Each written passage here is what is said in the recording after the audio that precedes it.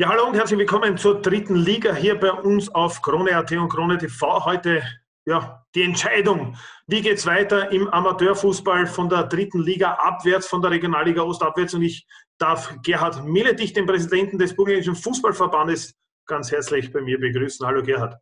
Hallo, servus. Im Studio hätte ich dich natürlich lieber, aber auch so geht's. Äh, Zoom macht es möglich. In heutigen Zeiten ja schon eigentlich üblich, oder? Ist ja nicht der erste Zoom-Call, den du hast, oder? Nein, ist nicht der erste, aber es war jetzt durch die Präsidiumssitzung ein sehr umfangreiche äh, Zoom, aber es war okay. Wir, werden es kurz halten. Äh, Gerhard, du kannst uns äh, einen Überblick geben, wie wird es aussehen? Äh, der Sportminister Kogler hat heute schon anklingen lassen, von Regionalliga abwärts wird es keine Spiele mehr geben. Äh, stimmt das? Wir haben heute einen einstimmigen Beschluss gefasst, dass wir die Meisterschaft beenden und die, die Bewerbe quasi äh, nicht mehr weiterspielen können. Was gleichbedeutend damit ist, dass es äh, keinen Meister gibt, dass es keinen Absteiger gibt und keinen Aufsteiger gibt. Das heißt, wir spielen mit den gleichen Mannschaften auch in der nächsten Saison. Äh, ist da jetzt, äh, okay, das ist einmal das, das Erste, was man sagen kann. Es wird quasi mit den gleichen Vereinen gespielt, die quasi in der, im August im vorigen Jahres angefangen haben zu spielen. Korrekt. Die 16. Es wird keine Aufstockung geben, weil es eben keinen Aufsteiger gibt. Es wird keinen äh, Aufsteiger geben, so wie bei uns Rapid Wien 2 zum Beispiel, dann in die Bundesliga.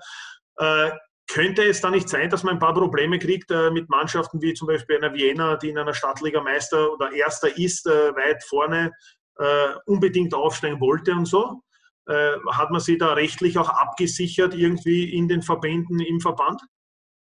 Ja, man hat ja an und für sich eine Expertise verfassen lassen und aufgrund, auf Basis dieser, äh, wo halt die meiste Rechtssicherheit besteht, äh, wurde diese Entscheidung getroffen. Also sie wurde nicht willkürlich getroffen, sondern auf Basis äh, von, von Beurteilungen von, Jurin, von Juristen, die, glaube ich, da ein, ein, ein, das ziemlich fundiert auch bestätigt haben, dass das die einzige mögliche Variante ist, die auch rechtlich hält. Die Variante zum Beispiel mit einem Aufsteiger also aufsteigen lassen die Vereine, aber nicht absteigen lassen, wäre keine Variante gewesen für euch? Das ist keine Variante. Du kannst nur eine Meisterschaft, äh, die sie beendet ist, einen Meister küren oder einen Absteiger küren. Man kann mit einer, mit einer abgebrochenen Meisterschaft keinen Meister und keinen Absteiger feststellen. Das ist nicht zulässig. Das ist nicht zulässig. Nicht Statuten, also es wäre statutenwidrig. Genau so ist es.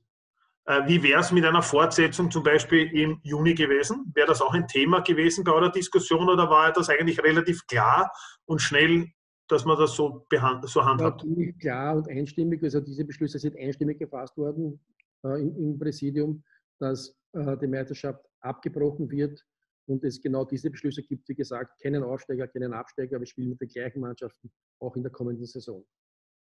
Äh, Gibt es da, mein, das werdet ihr jetzt vielleicht nicht wissen als Verbandspräsidenten, aber Ausgleichszahlungen für Vereine quasi, die mein, auch in Bahndorf, wo ja du auch äh, lange Obmann warst und in Wahrheit und dann Präsident warst und in Wahrheit Gönner warst und auch viel Geld ausgegeben hast, äh, gibt es da irgendwie ähm, Gelder, Unterstützungen für die Vereine auch? Es wurde uns äh, signalisiert vom Sportminister, dass es hier, hier finanzielle Unterstützung gibt aber nur in welcher Form und in welchem Umfang ist bis dato nicht klar. Aber hier gibt es Gespräche mit, äh, mit der BSO, Hans Nissel auf der einen Seite, mit den Dachverbänden und auch mit dem ÖFB, mit dem Sportministerium. Hier wird sicher ein Package erarbeitet, nur in welchem Umfang das sein wird und, und, und unter welchen Kriterien kann man jetzt natürlich nicht beantworten. Aber es wurde grundsätzlich Unterstützung zugesagt. Glaubst du, dass eure Entscheidung äh, so angenommen wird, äh, wie sie bei euch beschlossen wurde? Ich meine, sicher gibt es immer Leute, die dagegen sprechen oder die halt was besser wissen. Äh, das kennen wir. Es gibt ja auch 8 Millionen Teamchefs in Österreich. Na schau, grundsätzlich geht es ja darum, dass wir nicht willkürlich entschieden haben, sondern auf, auf, Basis eines Rechtsgutachtens, das uns ja vorliegt mit einem Umfang von 63 Seiten, mit den notwendigen Kommentaren. Und wir haben hier wirklich versucht, äh, genau diese, diese Rechtsmeinung auch äh, quasi als Basis für unsere Entscheidung zu nehmen. Und das ist auch passiert. Das heißt, äh, aufgrund dieser, dieser, dieser Expertise rechtlichen war uns keine andere Möglichkeit offen, als die, die wir, die wir gewählt haben. Ich sage äh, danke, Gerd, äh, für dieses kurze Statement gleich nach dieser Sitzung. Danke, dass du Zeit für uns gefunden hast, uns das einmal erklärt hast und Licht ins Dunkel gebracht hast. Ich glaube, jetzt können die Vereine auch endlich planen für die nächste Saison. Wann soll die stattfinden?